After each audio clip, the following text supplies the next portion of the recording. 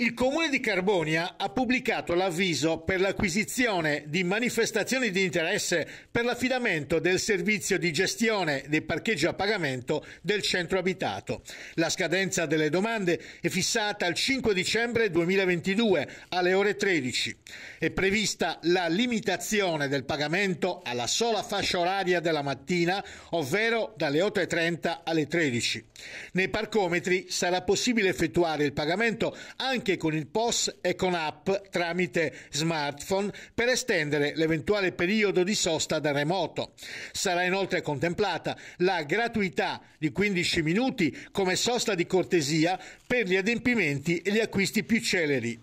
Nelle nostre intenzioni e nell'ottica di un piano complessivo dei parcheggi nel centro, ha spiegato l'assessore delle attività produttive Michele Stivaletta, ci sarà la realizzazione degli spazi a disco in un tratto di via Gramsci e in piazza Ciusa, in particolare al centro della piazza del mercato, con sosta a tempo per favorire il ricambio gratuito negli stalli.